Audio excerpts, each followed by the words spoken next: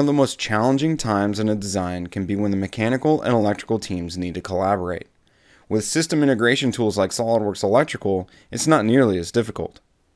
Many times, it is the mechanical assembly that dictates the path that wires, cables, and harnesses must take. SOLIDWORKS Electrical 2021 makes meeting these requirements much easier by now supporting the use of both splines and lines when creating routing paths. We can use this routing path to shape the harness that will connect the transducer, then follow along the wall.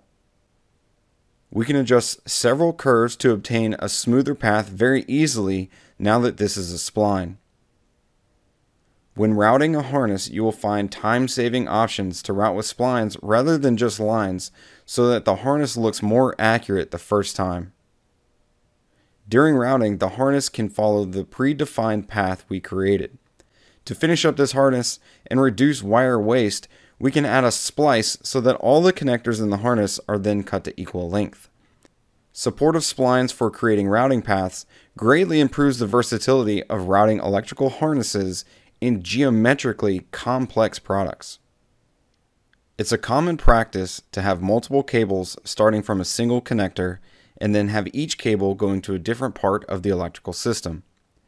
In the past, these cables were routed in the same assembly and did not provide flexibility that all the designers needed. In SOLIDWORKS Electrical Schematic 2021, cable properties now include the field Separate 3D Route Assembly. The same parameter can also be controlled in the SOLIDWORKS Electrical Route Cable command. This provides maximum flexibility to users on how and where they want to initiate this new parameter.